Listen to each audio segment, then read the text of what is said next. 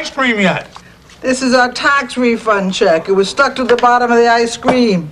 You've been on my back for a month telling me that I lost it. I'm not the one who eats ice cream in this house. Oh, you eat ice cream. Tofutti, I eat tofutti. You tell your friends you eat tofutti, but then you eat my ice cream. Take a look at the tofutti. There's not a dent in the tofutti. If I do eat ice cream, and I'm not saying that I do, I put it in a bowl like a person, not on the table where it gets stuck to an important check that somebody accuses me of losing. You know, in class, we were just doing this. Why can't you just admit this is your fault? Because I don't lose things, Frank. I'm organized. Not organized. Insane. She's got a shoebox labeled pieces of string too small to use. Uh, that I should tie together into a noose. I got a beam all picked out. Yeah, I got a step stool for you. Wait, wait, just listen here for a second. Wait.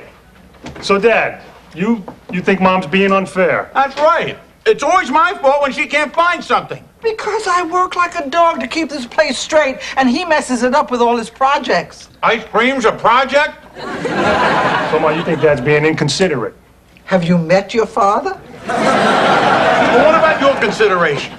Do I ever get any thanks for all the stuff I do around here? Like what? What is it you do?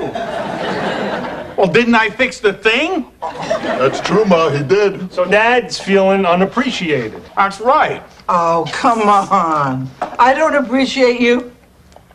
How do I know? Evidently, Dad isn't hearing thank you. Oh, he wants thank you. This isn't thank you? I guess Mom's saying actions speak louder than words. That's very good, Raymond. But sometimes we need to hear the words. Yeah, I need words. And I don't need words?